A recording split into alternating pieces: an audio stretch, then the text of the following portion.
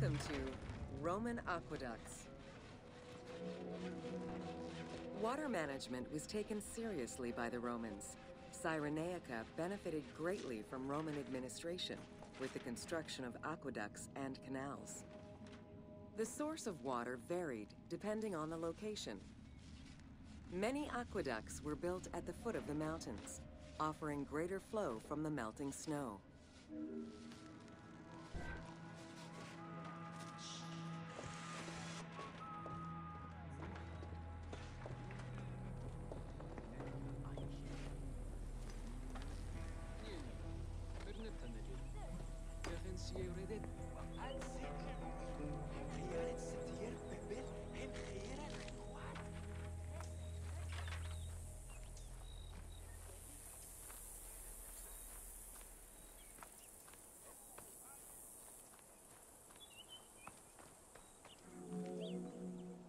The ability to transport water over a greater distance increased agricultural production.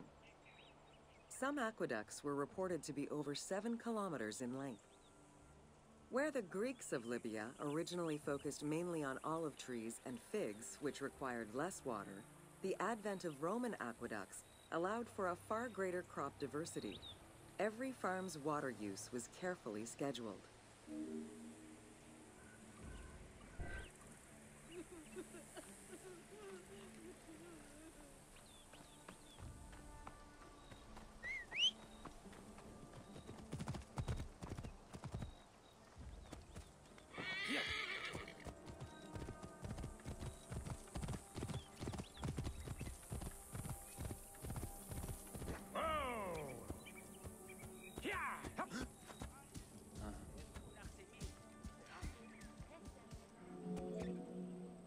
The engineering methods used to create aqueducts were constantly reviewed, with a clear focus on exploiting the local environment.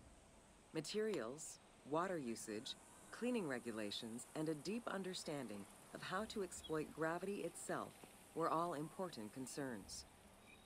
Several fortresses were built to protect the aqueducts, basins, and cisterns.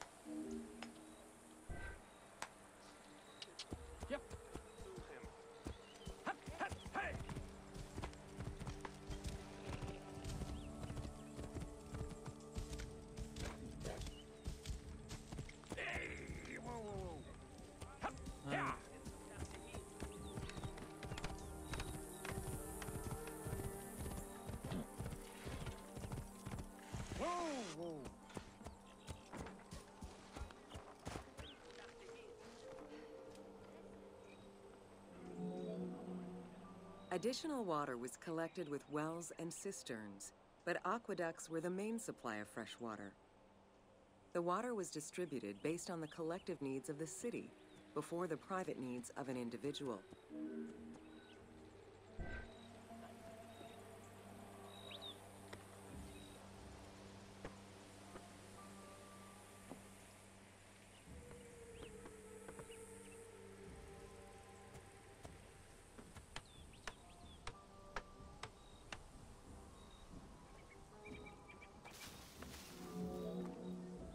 Almost all aqueducts ended in a fountain where the water circulated to clean the streets and supply bathhouses and latrines, thus improving the cleanliness of Cyrenaica's cities.